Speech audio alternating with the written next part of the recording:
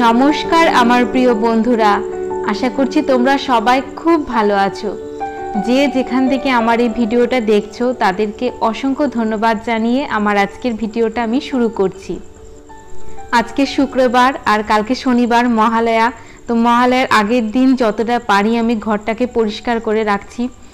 পুরো বাড়ির কিন্তু ঝুলঝাড়ার কাজ হয়ে গেছে। এখন শুধু যেগুলো যেগুলো বাকি আছে, সেগুলোই আজকে করছি। আর আজকে অনেকটাই সকালবেলা উঠেছি, এই কাজগুলো করতে হবে বলে আমি রান্নাটাও কমপ্লিট করে তারপর কিন্তু এই কাজগুলোতে হাত দিচ্ছি। কারণ রান্নাঘরের কাজ শেষ না করে যদি ঘর পরিষ্কার করতে থাকি, তাহলে কিন্তু রান্নাটা অনেকটাই দেরি হয়ে যাবে। আর ছেলে তো ছোট, ওকেও তো ঠিক টাইমে খাবার দিতে হবে।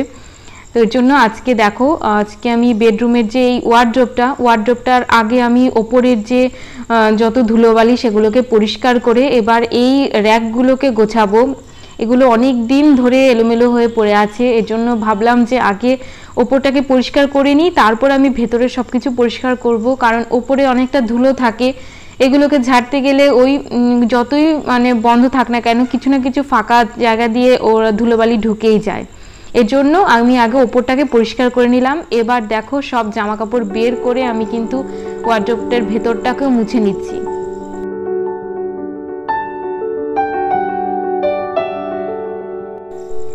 সব জামা কাপড় আমি দেখো বিছানার উপর জড়ো করে রেখেছি। এবার এগুলোকে বেছে বেছে আমি মানে যেগুলো পরা হয় সেগুলোকে আমি এক জায়গায় রাখছি আর যেগুলো আমি পরবো না মানে পুরনো হয়ে গেছে বা সাইজে ছোট হয়ে গেছে সেগুলোকে আমি আলাদা করে রাখছি। আলাদা করা জামা কাপড়গুলো আমি ওপরের ঘরে রেখে দেব একটা ব্যাগে করে, তারপর এগুলো অনেক সময় কেউ নিতে আসে তখন এগুলোকে দিয়ে দেব। তাহলে আমার ওয়ার্ড্রপটা অনেকটাই ফাঁকা হয়ে যাবে, অনেকটা জায়গা পাবো।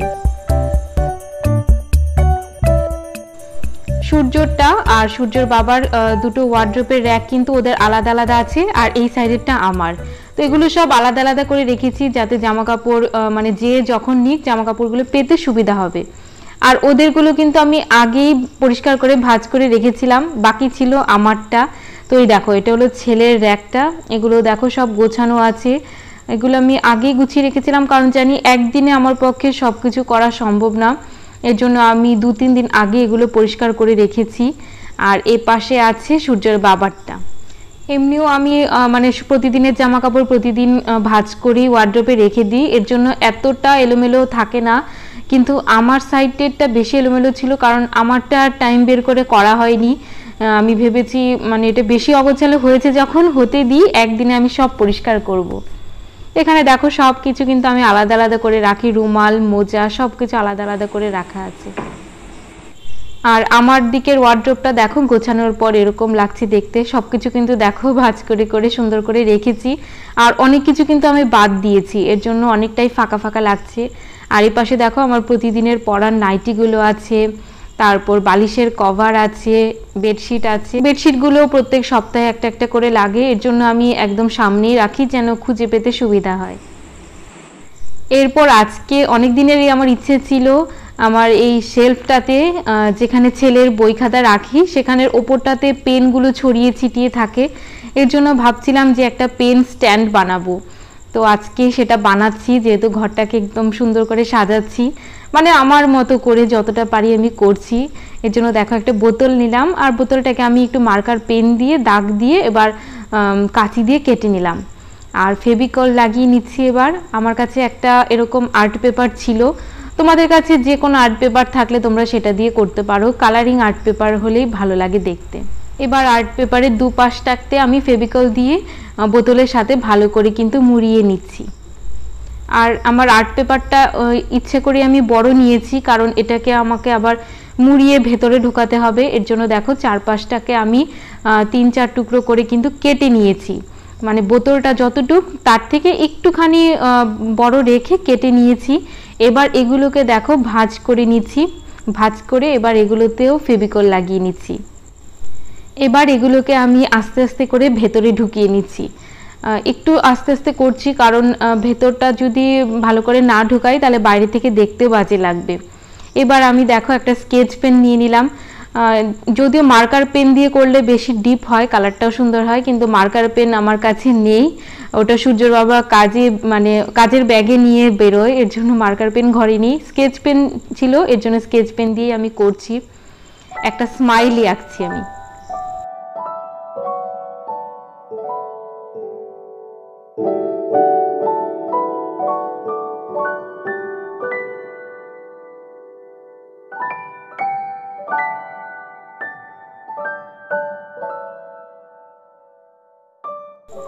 ছেলের স্কুলে যেহেতু মাঝে মধ্যে অ্যাক্টিভিটি হয়, এর জন্য কিন্তু এরকম স্টিকার ঘরে আনা হয়েছিল।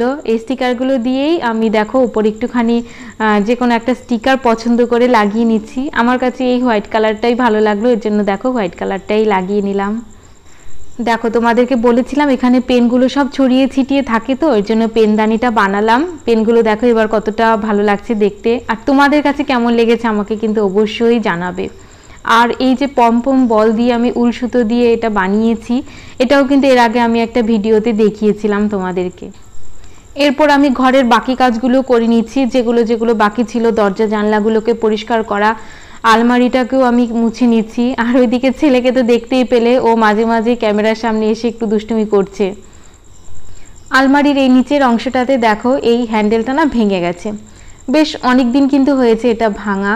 ছেলে যখন ছোট ছিল, হাঁটা শিখলো, তখন এটা ধরে ধরে ও উঠে দাঁড়াতো আর এটাতে মানে ধরে ধরে নাচতো। এর জন্য মানে এটার উপর এতটা টান পড়েছে ভেঙে গেছে। এটাও ইচ্ছা আছে, যখন সুযোগ সুবিধা হবে, এটাকে একটু চেঞ্জ করব। চেঞ্জ করব বলতে এগুলোকে রিপেয়ার করব আর কালারটাকে পাল্টে দেব। আলমারিটা যেমন আছে, সেরকমই থাকবে। আর ঘরে যেগুলো যেগুলো চোখে পড়ছে, সেগুলোকেও একটুখানি মুছে নিচ্ছি, যেন পুজোর আগে একদম ঘরবাড়ি পরিষ্কার থাকে। মনটাও ভালো লাগে তাহলে।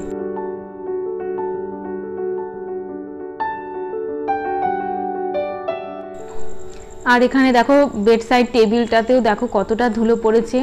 এটাতে আমার মানে একদিন পরপর এটা মুছতেই হয়।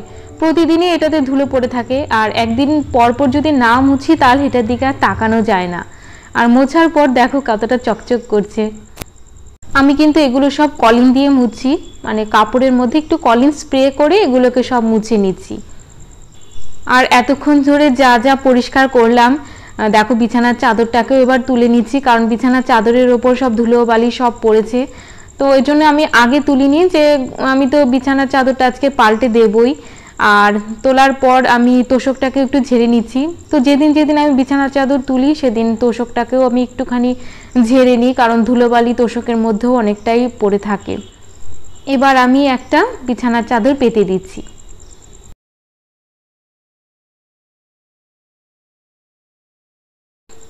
এরপর আমি একটা বিছানা ঝাড়ার ঝাঁটা দিয়ে দেখো, পুরো বিছানাটাকে একদম ঝেড়ে নিচ্ছি। এতে বিছানার চাদরটা কিন্তু একদম টান টান হয়ে থাকে। দেখো, আমার মতো তোমরাও অবশ্যই সবসময় এরকমভাবেই পরিষ্কার করো। আমি নতুন কিছুই দেখাচ্ছি না। কিন্তু অনেক সময় কারোর কাজ দেখলে কিন্তু নিজেও অনেকটা মোটিভেশন পাওয়া যায়। এরপর দেখো, আমার মার হাতে বানানো একটা কুশন আমি রাখলাম বিছানায়। আর এই চেয়ারটাও ফাঁকা ফাঁকা থাকে, এর জন্য আরেকটা এই কাপড়টা রাখলাম, এটাও কিন্তু মা নিজে হাতে বানিয়েছে। মানে ফেলনা জামা কাপড় যেগুলো অনেক সময় আমাদের পরা হয় না, সেগুলো দিয়ে কিন্তু মা এগুলো বানিয়েছে। এরপর আমি লাস্ট কাজ, ঘরটাকে মুছে নিচ্ছি। আর আজকে ঘরটা আমি হাতে মুছছি মানে আজকে কোনো স্ট্যান্ড দিয়ে মুছি না। এরকম অনেক সময় না মনে হয় কি যে ঘরটাতে একটু চেপে চেপে মুছলে ভালো হয়। কিন্তু সবসময় আমি সেটা পারি না। কাজের তাড়া থাকে এর জন্য কিন্তু স্ট্যান্ড দিয়ে মুছি রোজ। কিন্তু দু মাসে একদিন বা মাসে একদিন এরকম ইচ্ছে হলে কিন্তু আমি হাতে মুছি। আজকে যেমন মুছি, কারণ যেহেতু আজকে অনেক কিছুই পরিষ্কার করেছি, এর জন্য মনে হলো আমার কাছে যে একটুখানি যদি জিনিসগুলো সরিয়ে সরিয়ে হাত দিয়ে মুছি, তাহলে মোছাটাও ভালো হবে। আর আমি কিন্তু ভিডিওতে যেমন দেখাচ্ছি, কাজগুলো টানা করছি, আসলে কিন্তু আমাকেও কিন্তু মাঝে মধ্যে ওই ঘরে যেতে হচ্ছে, কারণ ছেলের কাজ থাকে, ছেলেকে স্নান করালাম মাঝখানে, ওকে জল টল খাইয়ে এবার কিন্তু আমি আবার আসলাম, ঘরটাকে পরিষ্কার করে নিচ্ছি। তো এরপর আমার আর সেরকম কাজ নেই, ঘরটা পরিষ্কার করে তারপর আমি ছেলেকে খেতে দেব। খেতে দিয়ে আমি সোজা স্নানে চলে যাব। আর আমার শাশুড়ি মাও স্নান করে নিচ্ছে, তারপর মা তো পুজো দিয়েই নেবে। তারপর কিন্তু এদিকে মার পুজো দেওয়া হয়ে যাবে আর আমার স্নান করা হয়ে যাবে, তারপর কিন্তু একসাথে খেতে বসবো। ব্যাস, আমার ঘর গোছানো কিন্তু মোটামুটি কমপ্লিট। এবার বন্ধুরা তোমাদেরকে একবার ঘরে ঢোকার থেকে দেখিয়ে দিই। এই দেখো ওয়ার্ড্রপটাও তো দেখালাম তোমাদেরকে, পুরোটা গুছিয়েছি। এর জন্য এটাকে আলাদা করে এখন আর দেখালাম না। আর এইদিকে দেখো বেডসাইড টেবিলটাকেও সুন্দর করে রাখা হয়ে গেছে। বিছানার চাদর টাদর একদম টান টান করে পেতে রেখেছি। আর এই অ্যারিকা পামের গাছটা যে টপটাতে রেখেছি, সেটাও যে আমি ঘরে রং করেছিলাম, সেটাও তোমাদেরকে দেখিয়েছিলাম একটা ভিডিওতে। তার সাথে দেখিয়েছিলাম একই ভিডিওতে এই উল সুতো দিয়ে যে এই গাছের ডালের ওপর এই ফুলটা বানিয়েছি, সেটাও দেখিয়েছিলাম। তো বন্ধুরা, আমি আজকের ভিডিওটাকে এখানেই শেষ করছি। আশা করছি আজকের ভিডিওটা দেখতে তোমাদের কিছু ভালো লেগেছে। তবে যদি ভিডিওটার কিছু ভালো লেগে থাকে প্লিজ তোমরা একটা লাইক করতে ভুলবে না। আর আমাকে অবশ্যই কমেন্টস করে জানাবে।